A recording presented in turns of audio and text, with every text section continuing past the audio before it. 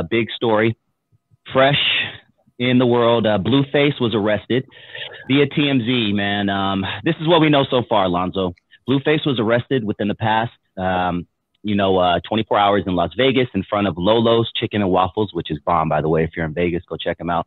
Allegedly, he was with his girl and a few others when six to eight undercover police in unmarked cars swooped up on him, tackled him, wrestled him to the ground. Uh, police on the scene said they were executing an open warrant for his arrest. According to documents TMZ attained, he is facing felony attempted murder with use of a deadly weapon. He's also facing an additional charge for allegedly discharging a gun into a house, building, vehicle, or craft. Another one, huh? That boy in trouble.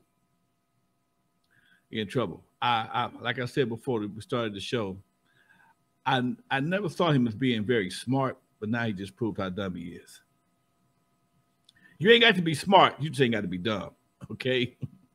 You can't shoot in the houses, cars, vehicles, whatever the case may be. You can't uh, do certain shit, man. Everything is on camera, especially in Vegas.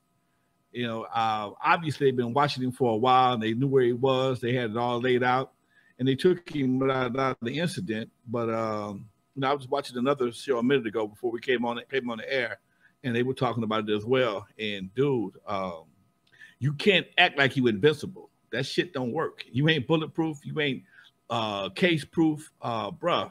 I don't know who your folks are, but you need to surround your folks with, surround yourself with some different kind of people. They got you on some bullshit, for real. Yeah, and you've uh, been in an experience where a, a gunshot was fired on a property that you owned, and you explained it like you, you were going through hell, man it's literally hell, man. When you give somebody gets shot, dies in your property, uh, no matter what happens, you are responsible for it. Okay, and um, it's it, you know you can't explain. It's hard to explain when people have people die in public property. The city ain't responsible for it, but if somebody dies on public property, the owner of the property is responsible. You know, he could die in the parking lot, inside the building. This dude wasn't even in the parking. He was in the parking lot, dude I never seen the cat before, but nonetheless, they had my ass in court trying to take everything I had.